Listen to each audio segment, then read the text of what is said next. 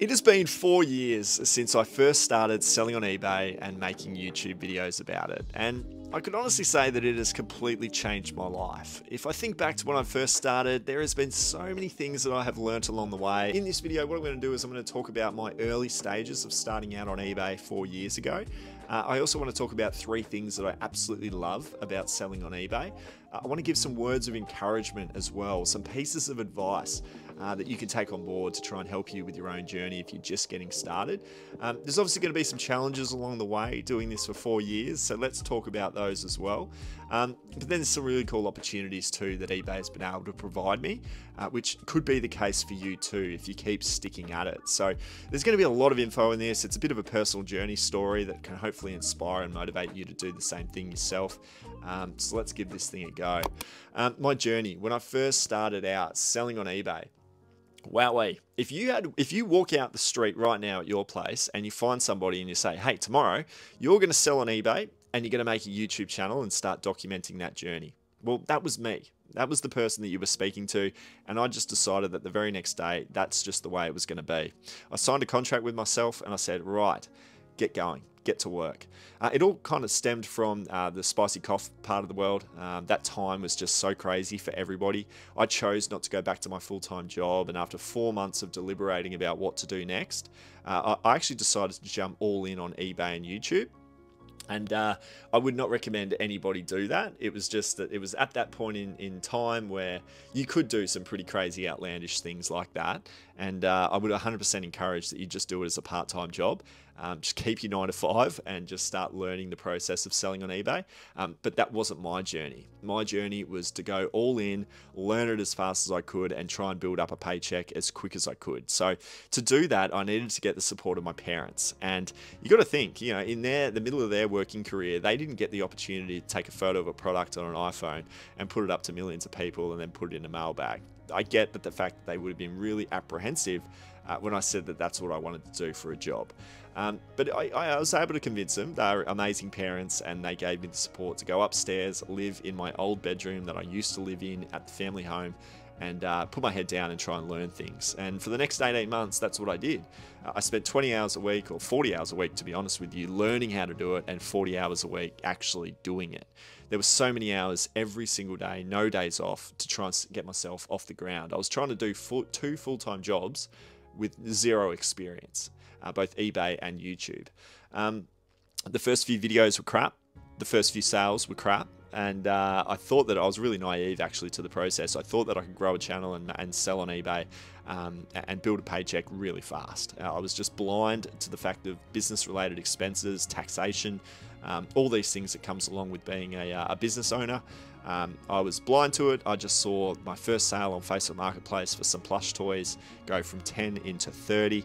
I saw $20 in profit, and I said to myself, let's do that 10 times, 100 times, 1,000 times and surely the numbers will work out and we'll be able to make this a part-time, uh, sorry, a full-time job. Um, wasn't exactly the case. I quickly realized that there are a lot of other expenses along with it, and it's going to be a bit of a grind to get it to a point where it's going to be a full time income. Um, but I was going to work really, really hard no matter what to make it that way. So, Facebook Marketplace is where I first started. It wasn't eBay, it was Facebook Marketplace. I was flipping furniture on Facebook Marketplace. Let me know if you were there back in the day on YouTube watching those videos. I still think that's one of the best side hustles to get into, um, flipping furniture on Facebook Marketplace. So much attention on Facebook around the category of furniture. Um, so definitely look into it if you're trying to make a couple of dollars. But I quickly realized that to make this a full time thing, I needed to convert to eBay purely for the case that there were thousands, millions of eyes on the products that you were trying to sell. Um, at that time, it was very much fee-bay mindset for me. The fees associated to eBay was the big deterrent as to why I just didn't want to do it. You just got to give them too much money. Um, but really, ultimately, it's actually an amazing setup because if you were to create a website and try and sell a product and pay for advertising, you're going to pay all this money in advertising and maybe not even sell your product. With eBay, you're putting the item up for grabs and maybe only paying a submission fee um, to have an account. And then from there, the actual fee comes out once the item goes on to sell. So you can list up a thousand items and not pay a cent until that item actually goes on to sell. And yet, a million, millions of people are able to actually view your listing as well. So, um, once I got my head around that, I realized pretty quickly that eBay was a really, really risk free way of going about selling online. Um, so, the next thing I needed to work out was obviously what to sell. that was trial and error, but I realized that DVDs in the end did quite well for me, and they are still to this day a staple of what I sell on eBay. Um, I'm basically media. I've got video games behind me, I sell a few shoes, they've always been around, and DVDs. They've just been the three biggest selling categories for me, and still to this day, they do really, really well. Um, so that was my early stages. It was really quite tricky. Um, YouTube was always a part of the plan. I always thought that I could make some YouTube videos and make some money from that. And I thought that I could obviously sell a few goods on eBay, and together they are a full time income. Today, half my money comes on eBay, half my money comes on YouTube. And that was always the plan. Um, but together, while they are both part time incomes, they make a full time income. Um, why I love selling on eBay? Why do I enjoy it? Well, the biggest one is the easiest one. It provides the ultimate freedom. And I can give you a really good example of this is I go for a run every single morning. Well, not every single morning, but maybe every couple of days I'm running, three to four days a week. And I'll always get a coffee at the coffee shop after I go for my run. And I always try and give myself a moment of gratitude for what for what it is. You know, I don't need to go home. I don't need to have a shower, quickly get in the car and race off to sit in traffic and, and clock in for a nine to five job. I can come home whenever I want. I can come home at lunchtime if I choose to. And I'm working from home, so that's the other thing. I love the fact that you can work from home in your PJs with this job. These are all little things that aren't putting money in your pocket, but they are really boosting up that happy meter to being at its all time high. And I really do think that happiness is stemmed from freedom. You know, freedom comes from freedom gives you happiness, and that's one of the biggest things for me. Um, is to is to be happy with what you're doing every single day. You spend a lot of time in the job that you do. You may as well have a bit of fun doing it, and I absolutely have fun doing this. Um, equal to YouTube, equal to eBay. I love both. So to be able to combine the both and make a full time income from it is the dream, and I'm trying to just make it the dream and and have it continue um, you know, for many more years to come. But uh, there are two very big ones. The other one as well is that, like I touched on earlier, we just couldn't do this 20 to 25 years ago. The concept of picking up an iPhone, taking a photo of a good, and then having it send off um, to a customer anywhere around the world. What an opportunity. To even just say that I gave it a go, it might have not worked out for you, but at least you gave it a go. And in that time of uh, you know, the world being in a really difficult spot a few years ago, I just thought that was my moment to at least say I tried. And then I could get back into the footy industry that I was working in, or I could go into real estate, another sort of nine to five based profession. Um, but how, how silly would it be not to have given it a go at that point, is what I thought to myself. Um, and it might be the same case for you too right now. You know, you might be looking at other ways to get a pay rise at your job, or you could just say to yourself, why don't I just start selling on eBay and just give that a go? Um, who knows what can come from it if I just simply started. Um, so that's another thing as to why I love eBay. We just get the opportunity to use it in this day and age, and there are millions of buyers out there ready to buy our items. Um, some advice. Let's let's give you guys some advice for the newbies out there. Well, I would say, guys, like I touched on, just start. Just make the first account. Create your first account. It takes, I would say, four and a half minutes to create an account. You could do that today. You could start your eBay journey today. You could list up the first item at free cost by an item that you find lying around the house. Um, I'm sure you've got a phone that's got a camera on it. Take a photo of the item and post it up for sale. eBay, as a bit of a power tip, they love at least six photos for your listing. So take six photos of that item and then post it up for sale with a title that accurately represents what you've got to sell. You could do all of that in 15 minutes today, right now, and you're an eBay seller. You've got an item up for grabs. So I do recommend that you do that. Just make a start. Um, I would also say that don't look at it from an hourly rate perspective. You've got to remember, you know, first year Matt is doing 40 hours of learning, 40 hours of work. That's 80 hours, and trust me, I was, I was rent free at mum and dad's place, but I wasn't able to afford too much more than a, a couple of pieces of food with friends on, a, on an afternoon out um, you know, there wasn't a lot of money coming in and I was working a lot of hours. And that, that runway to try and get yourself into the position that you need to be in uh, is not going to be a pretty picture if you try and break things down on an hourly rate perspective. Also, remember, you're a business. If you're selling on eBay, that is a business transaction. You are a business trying to sell a good to a consumer. Um, so treat it like that. You're not a nine to five worker on an hourly wage anymore um, you've got yourself a little business, and that comes with different responsibilities and different time commitments. And over time, you will become a hell of a lot more efficient with your processes. And maybe in three to four years down the line, you could look at it if you wanted to from an hourly rate perspective. But geez, I wouldn't do it when you first start out because it's going to demotivate you. It's going to make you not want to continue. And I really, really highly recommend that you don't do it. Um, keep track of your finances is the other one as well.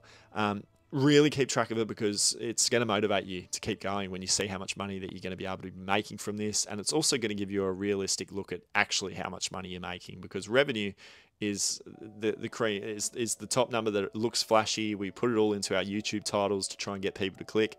Um, but true profit, true net profit, that bottom line, um, you need to have an understanding of it. You need to know how much you're spending on postage and cost of goods and all the different business elements associated.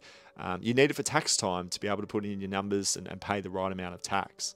So, you know, do that from the beginning, and you won't give yourself a headache down the line. Um, and then finally, just just because it's cheap doesn't mean you should buy it. That's another piece of advice I've got for you guys. When I first started, I used to buy items based on price alone. Oh, it's two bucks. I'll be able to make money on it. I'll buy it. But then what happens is you get cluttered up in your household with a lot of stock that isn't great. It's not going to go on to sell. Horrible sell through rate. Uh, and then you start to get overwhelmed at the fact that you've got so much volume of stock and nothing's selling. And you wonder why you're having low sales. It's because you're not buying the right products.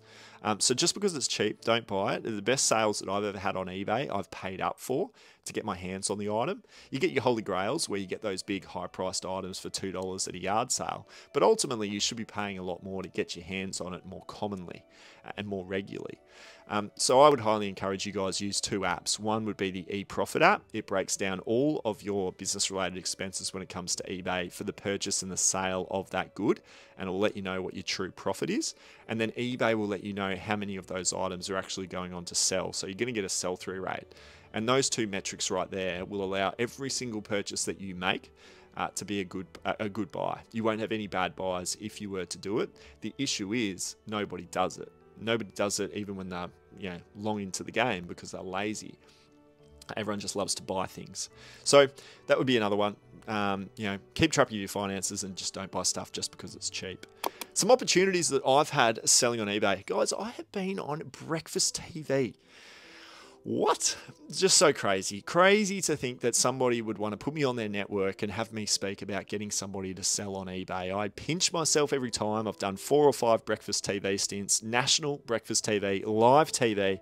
Man, I've been nervous every single time that I've done it, but I also look at it from a gratitude perspective of just how cool creating content on social media is, selling goods online, working for yourself, speaking to the nation about what you do.